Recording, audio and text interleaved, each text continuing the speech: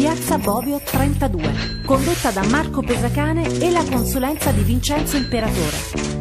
Siete su Radio More Napoli e questa è Piazza Bovio 32, il programma che vi mette in guardia su tutte le insidie che potete trovare in banca, sia che siate dei semplici correntisti, sia che siate degli imprenditori e uh, avete dei rapporti sicuramente più stretti con le banche. Come sempre sono accompagnato da Vincenzo Imperatore. Buongiorno. Ciao Marco, ciao, Buona, buongiorno a tutti gli ascoltatori. Allora Vincenzo, ricordiamo brevemente la, la tua presenza qui è fondamentale per trattare di queste tematiche problematiche perché oltre ad essere un ex dirigente bancario, sei l'autore di Io so, io le prove, edito da Chiare Lettere, uh, hai la società di consulenza aziendale specializzata nel banking e nella ristrutturazione del debito, la Inmind Consulting e Uh, ti occupi oggi proprio di aiutare la gente a, ad avere rapporti sani con i propri istituti di credito alla luce anche del prossimo libro che uscirà a breve che si chiama Io vi accuso, quindi insomma lì secondo me ci divertiremo parecchio, divertiremo per modo di dire. Ci divertiremo nel senso che continueremo a fare sta, questa opera di divulgazione di questi piccoli segreti, di questi maneggi, di queste eh, alchimie che, eh, che in 22 anni di banca ho visto, fatto, realizzato e infine raccontato. Ecco, noi in questa settimana eh, abbiamo trattato un argomento molto importante perché si è parlato delle tendenze, nuove tendenze delle banche eh, e le siamo andati un po' a, a, smascherare perché ci siamo resi conto che parlando di queste nuove tendenze che sembra tutto a favore di imprese, di piccoli imprenditori, grandi imprenditori, insomma in realtà poi Uh, c'è sempre qualcosa dietro che, che, non va. Sì, parlavamo delle, de, della presunta ripresa uh, di erogazione dei finanziamenti a famiglie e piccoli imprenditori abbiamo visto che nel caso dei mutui si tratta di un blef perché sono prevalentemente surroghe, quindi sostituzioni di mutui già esistenti. Nel caso dei finanziamenti alle imprese si tratta di finanziamenti alle medie e grandi imprese, non alle piccole imprese. Ecco, e alla luce di tutto questo, parlando poi della nostra quotidianità, dello stato attuale del nostro paese che è in crisi, mi sono venute in mente altre domande da, da farti, molto semplici, ma sono sicuro che parleremo per un bel po', quindi restate con noi che fra pochissimo entreremo un po' più nel dettaglio in queste realtà. Piazza Povio 32 con Marco Pesacane e Vincenzo Imperatore. Allora Vincenzo, tornando a questi finanziamenti, uh, che ci sono, non, in realtà non ci sono, c'è questa crisi, insomma qual è la realtà? Questa crisi da questi personaggi che vivono di economia e che dovrebbero essere anche l'economia del nostro paese, ma la potevano realmente prevedere questa ah. crisi? E innanzitutto mi stai facendo un, un cross di quelli insomma, che merita. Di quelli che devi solo metterla dentro. La palla dentro con, con tanta semplicità.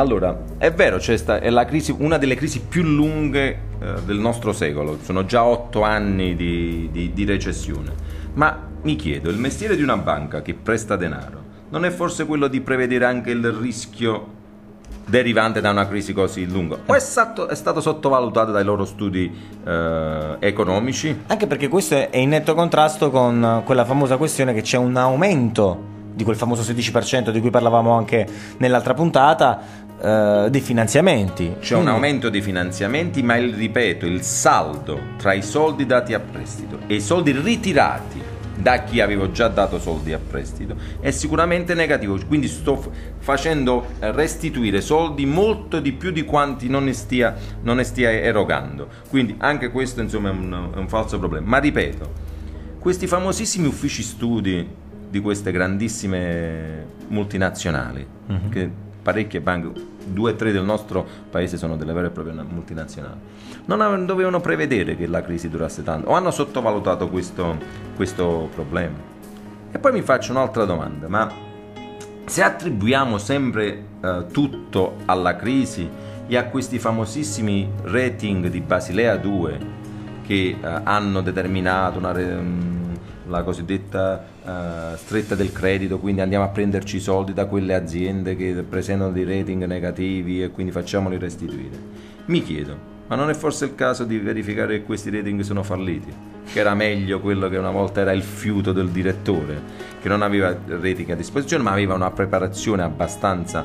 Uh, profonda sull'analisi di bilancio, che andava presso le aziende a rendersi conto quanti operai aveva, che portafoglio crediti aveva, come lavorava i suoi prodotti e quindi determinava un'erogazione fatta effettivamente di una valutazione oggettiva e non di un'equazione matematica, un algoritmo che ti dice sì o no sulla base di quattro numeri. Che poi il più delle volte abbiamo visto che è fallimentare perché questa crisi dura da otto anni, insomma, poi una soluzione reale non si è avuta. Sì, e non, credo che nel, nella storia uh, non ci sia mai stato un aumento delle sofferenze bancarie, quindi di aver sbagliato a dare soldi alle imprese uh, quanto lo è stato nel, negli ultimi anni, quindi figlio della generazione Basilea 2. Ma allora il problema possiamo dire che non è di situazione dove tu dici vabbè c'è traffico, siamo bloccati qua, fin quando non si sblocca lì davanti non si va da nessuna parte. Il problema è che noi stessi ci lamentiamo di questo traffico e stesso i personaggi che dovrebbero risolvere questa crisi non la risolvono. No, ah, ma qui delle due l'una. O il sistema di rating proposto con um, i criteri di Basilea 2 non ha funzionato. Quindi, e quindi andrebbe cambiato. E quindi andrebbe cambiato. O il sistema funziona ma non è stato usato adeguatamente. E di questo parlerò approfonditamente nel, nel secondo libro in uscita il, il 16 ottobre perché il 16 ottobre? Perché sono napoletano e scaramantico. La, io so alle prove è uscito 16 ottobre dell'anno scorso. E quindi ci sembra giusto che eh, la data sembra... ha portato bene. Ha portato bene. Uh, oppure un misto delle due. Quindi co- cosa facciamo? Continuiamo a fare questi danni qua. Quindi è sbagliato il sistema del rating che non individua con attenzione le imprese a cui poter fare buon credito.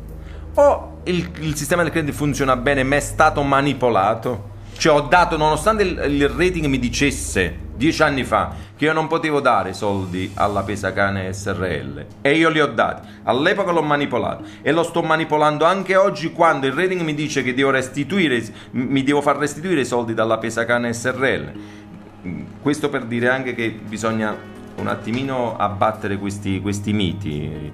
Il rating di Basilea 2, se è vero che nella storia mai si è verificato, si è verificato che tante sofferenze, quindi tanti crediti eh, sbagliati da parte delle, delle banche eh, abbiano raggiunto questi livelli di eh, questi ammontari, mai verificato delle due l'uno. O è sbagliato il sistema di rating o l'abbiamo utilizzato male. Secondo te? Secondo me è stato, avendo avuto esperienza diretta, un, è un po' un misto delle due. Il, um, il sistema di rating è ancorato ancora a dei criteri uh, antecrisi Ok. E io valutavo. Che non funziona con un periodo dopo, di dopo, crisi. Dopo otto anni di crisi, non posso pensare che una, una piccola impresa non abbia oggi avuto una pregiudizievole cosiddetto, cioè un pignoramento da un dipendente perché non è riuscito a pagarlo in tempo. Non, eh, eh, 9 su 10. Okay. Eh, non posso pensare che dopo otto anni di crisi non ci sia un'azienda che abbia avuto un pignoramento da Equitalia. 9,5 su 10. Uh, perché non è riuscito a pagare tutte le tasse. La crisi è stata talmente lunga. Se noi continuiamo a mettere dentro questi numeretti e il rating mi esce negativo, vuol dire che siamo dei ciechi. Perché dopo otto anni, nove, aziende, 9 piccole imprese su 10 hanno avuto quel tipo di problema. Quindi è sistematico che il rating, che il rating è, è negativo. L'altra considerazione è che ne sono, come dire, artefice e, e attore. Uh, I rating sono stati manipolati spesso. Cioè, nonostante la macchina ci dicesse che quei soldi non bisognava darli a quell'azienda, non si è seguita la regola. C'era la cosiddetta valutazione soggettiva. Va bene, non ti preoccupare. No, mm, io garantisco io. Per la eh, situazione. In, con, contravvengo anche alle indicazioni del, del, dell'algoritmo. Mm. Pur di fare. E qui non stiamo parlando di malafede, qui stiamo parlando di perfetta buona fede. Cioè, è, ehm, è cresciuta una generazione di direttori di banca che non aveva più la formazione che avevamo 20 anni fa, quindi mesi e mesi di studi, di analisi di bilancio. Benissimo. La valutazione soggettiva di questi nuovi direttori di banca che non avevano quel tipo di formazione era fatta sulla base della sensazione, sulla base non dico del simpatico meno, ma innanzi, insomma, non sulla base di, di eh, elementi soggettivi, non si, anda, non si va in un'impresa a vedere quanti operai effettivamente ha, non quelli iscritti Eh, certo. al libro paga. Uh, quanta produzione sta a terra, quindi quanto magazzino ci ha invenduto? No, mh, tutte queste, eh, come dire, eh, questo know-how, queste skills che avevano i, i vecchi, i vecchi direttori e ahimè, insomma, mi ci metto dentro eh, anche io perché a 52 anni ho avuto quel tipo di, eh, di formazione. Tutto questo viene a mancare, quindi la manipolazione, diciamo così, in perfetta buona fede, è determinata da un'assenza assoluta di formazione al riguardo. Mischi le due cose e determini La quel- quotidianità che abbiamo oggi. e determini quel, oggi. quel cataclisma che oggi vivono le banche. Fra pochissimo ancora ulteriori approfondimenti anche per cercare di capire se esiste a questo punto una via d'uscita alle problematiche che abbiamo appena trattato. Siete a Piazza Bovio 32 con eh, Marco Pesacane e Vincenzo Imperatore. Stavamo parlando prima di questi rating che eh, sono, sono sbagliati. Abbiamo capito che commettono un, eh, un errore, no? Cioè nel senso non permettono una giusta ripresa. In questo momento forse li definirei anacronistici, nel senso Ecco. che ehm, erano, eh, dei, erano dei criteri di selezione antecrisi. Oggi sono un po' superati, Se- cioè se in- inizio a immettere in questa macchina che determina questo algoritmo, questo voto che si dà all'impresa per decidere se gli do o non gli do i soldini, teneva conto di eh, parametri che sono ormai superati. È evidente che dopo otto anni di crisi il fatturato di un'azienda è diminuito, è evidente che gli utili sono diminuiti, è evidente che avrà preso un pignoramento da Equitalia. Ci sono elevatissime probabilità. Se questi elementi messi in questa macchina continuano a dare voti negativi, vuol dire che noi non sappiamo leggere l'attuale realtà. Quindi dovrebbero essere ritarati, riponderati, come si dice nel, nel gergo, affinché si tenga conto anche di altri fattori. Uno su tutti. Se la- la- l'azienda del signore Esposito, sempre a cui facciamo riferimento, che è qui giù in, eh, al palazzo, continua ad avere lo stesso numero di dipendenti che aveva nel 2005, questo è un valore.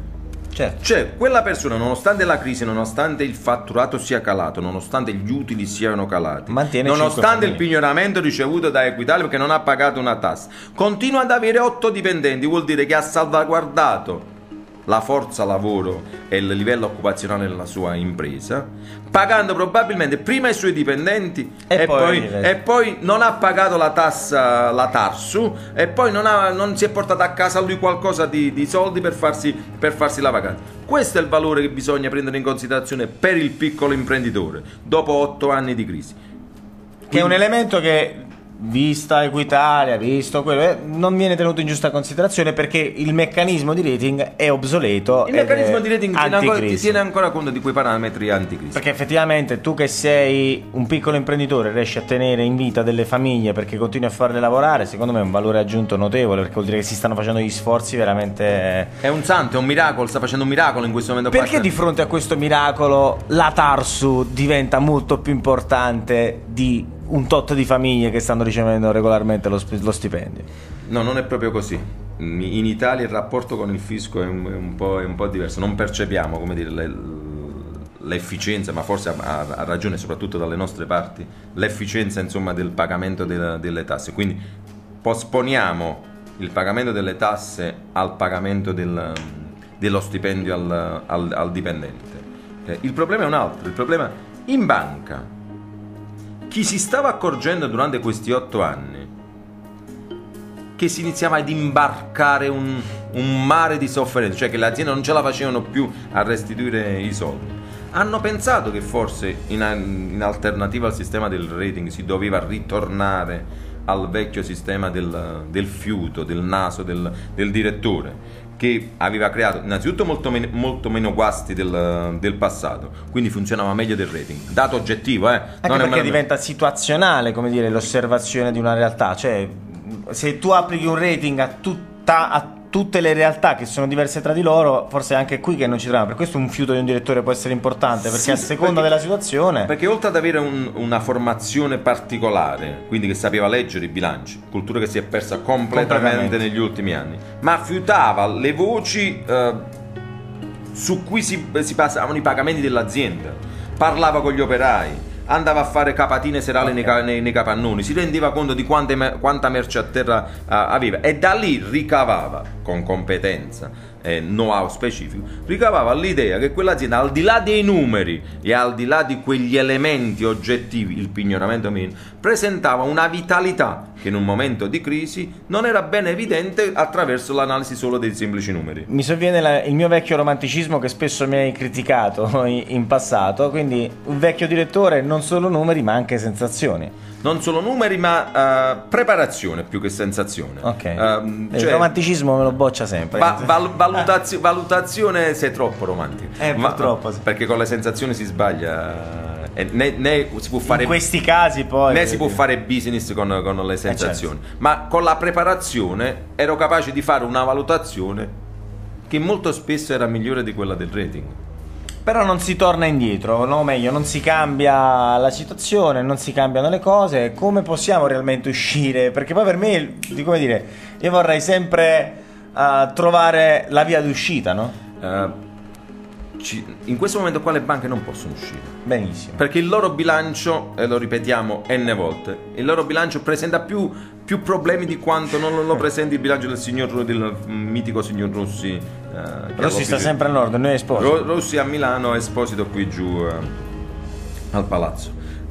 Il problema è un altro. Il problema è come posso immediatamente o in un arco di tempo, come dire, sostenibile, invertire la tendenza?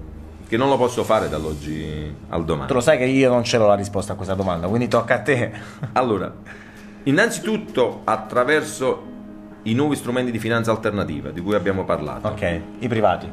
il peer-to-peer, i social lending, Ok, ok, ok, ok. Tutti questi strumenti nuovi, i mini bond, cioè delle piccole obbligazioni fatte per le, per- per le piccole, per le- per le piccole imprese, eh, il corporate barter che è una sorta di baratto tra imprese. Io vendo a te le penne, ma piuttosto che tu di darmi i soldi, io vado in, un- in una piattaforma, vado a comprarmi con quel credito che ho maturato perché ti ho venduto le penne, vado a comprarmi la consulenza dal commercialista. Quindi non girano soldi, ma girano, eh, girano servizi. Eh. Tutti questi eh, nuovi modi di fare finanza mh, in- nei paesi evoluti, anglosassoni soprattutto, sono già, sono già presenti. Questo è uno strumento, è un modo di rispondere al- alla dipendenza del- delle aziende, dalla- delle piccole imprese dal, dal sistema bancario. Il secondo è, carissimi signori bancari, fate presto, ma prestissimo perché il rating vi sta uccidendo, cioè si stanno uccidendo con le loro stesse, eh, le- con le loro stesse mani. Hai mai sentito parlare della centrale rischi? Sta mitica centrale rischi che, Sì. che- che viene spesso nominata per cui avete questo problema in centrale capito, ok. E l'avete consultata per tanti anni, a cosa è servita questa centrale rischi? Non avete avuto un segnale predittivo, non avete avuto una, una- una- una possibilità di capire se quell'azienda stava in difficoltà o meno. Anzi, state imbarcando ancora più, eh, più contenzioso. Quindi sistemi sbagliati, mezzi sbagliati, personaggi Le- adeguamento veloce del sistema bancario Immediato, altrimenti- altrimenti la, la situazione per loro è davvero, è davvero critica Eh, strumenti di, di finanza alternativa controllo da parte del, eh, del- degli, degli organi come BCE oppure insomma eh, Consob o altri affinché questi, questi parametri siano ben Ho un'ultima domanda per te, ma ce la teniamo per le conclusioni, fra pochissimo. Siamo alle conclusioni anche di questa puntata di Piazza Bovio 32. Vincenzo, abbiamo capito che il sistema di rating, mh, i personaggi, i modi di ragionare che si stanno utilizzando in questo momento nelle banche per i finanziamenti sono sbagliati. Abbiamo appena detto che ci vorrebbe un cambio di rotta, che si dovrebbe mh, attuare nuove frontiere eh, per risollevare i commercianti, gli imprenditori, i piccoli imprenditori, eh, per risolve- risollevarli da questa crisi. Il problema però è che questo cambiamento non è immediato. Come può fare il piccolo imprenditore oggi che comunque è immischiato in questo sistema e non ha ancora una valida alternativa? Come può fare per sopravvivere e per andare avanti? Marco, io vivo quotidianamente questi, questi problemi. Il 95% della, della mia clientela vive questo dramma. Questo dramma. Ehm, c'è una soluzione immediata, che è quella di difendersi nel momento in cui vedi cadere le pietre addosso a te. Questo è un momento in cui, prima che venga ehm, ridata forza alla capacità di fare credito, sia dai privati, sia da queste nuove piattaforme, che sia dalle, dalle banche. In questo momento il piccolo imprenditore, a me piace soprattutto parlare dei piccoli e dei microimprenditori, deve difendersi, quindi deve mettersi in una situazione di stand-by, di attesa, Ok. magari attaccando le banche che gli vanno a chiedere i soldi. Eh, lo facciamo sistematicamente. Quando troviamo, non siamo dei furfanti, non siamo dei cialtroni, quando troviamo oggettivamente dei diritti calpestati all'imprenditore, usura, anatocismo, eh, induzione al falso in bilancio, induzione all'evasione fiscale, violenza privata, tutti reati che sono ascrivibili a determinati comportamenti del, eh, delle banche. Quindi inizio a difendermi. Poi? Due, due, tre anni di tempo dura più o meno un sistema di difesa del genere. Ok. Congelo tutto e aspetto i tempi migliori. In che modo? Iniziando a, a crescere in cultura manageriale Ok. perché i nostri imprenditori hanno questa piccoli imprenditori hanno questa carenza. Due, a formare la nuova generazione. Il ricambio generazionale deve essere formato. Non entro in azienda solo perché mi chiamo Esposito e sono il figlio di Esposito, perché posso essere una testa di Eh certo. e ho il diritto di entrarci anche se non mi sono laureato. Ma dimostro di valere eh, quello O solo- semplicemente perché mi chiamo Esposito. Ok. Quindi ho un diritto quasi divino ad- a proseguire l'attività in- imprenditoriale. Quindi formazione, abbiamo detto, eh, ricambio generazionale e terza ed ultima cosa, capacità di essere veloce nei cambiamenti. La nostra in piccola imprenditoria è stata abituata lentamente al, ehm, al cambiamento, cioè non, non era velocissima ad, ehm, ad utilizzare la nuova strumentistica, non era vel- velocissima a capire quanto era importante il controllo di gestione, quanto era importante definire un business plan, quanto era importante guardare la finanza in maniera più approfondita. Più veloci sono ad, ad adottare questi cambiamenti qua, più usciranno in maniera... ehm, Quindi bisogna agire comunque. bisogna, bisogna agire. bisogna- Perché la, la- la risposta poi è sempre quella, bisogna iniziare a contrastare questo potere forte, questa, questa realtà che... Se continuo a fare le stesse cose che facevo prima otterrò gli stessi risultati. Risultati, esatto, quindi su- da questo non si scappa. E non si scappa che ovviamente Piazza Boio 32 è qui il lunedì e il venerdì per darvi tutte le informazioni di cui avete bisogno per vivere al meglio il vostro rapporto con le banche. Ovviamente grazie alla preziosissima collaborazione e consulenza di Vincenzo Imperatore. Grazie a voi Marco, un saluto a tutti. Io sono Marco Pesacane, ci sentiamo alla prossima puntata di Piazza Bovio 32.